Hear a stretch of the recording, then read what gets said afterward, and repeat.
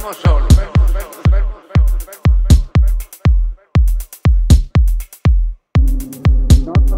No trabajo.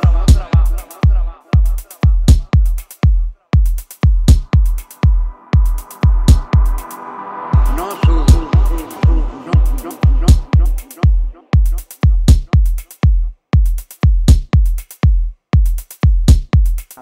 Vivo del televisor para la cama. En la cocina, en la cocina, la cocina,